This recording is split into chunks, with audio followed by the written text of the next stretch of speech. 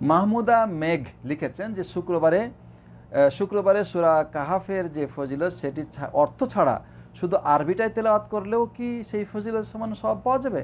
হ্যাঁ ইনশাআল্লাহ।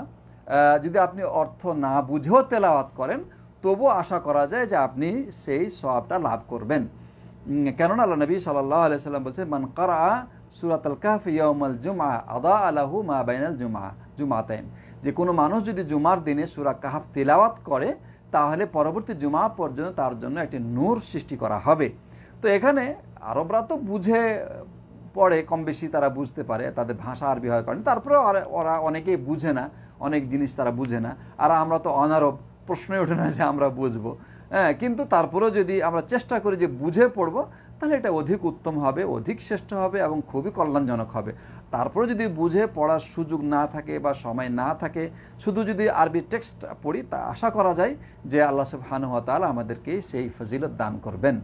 আল্লাহ তালা আলম।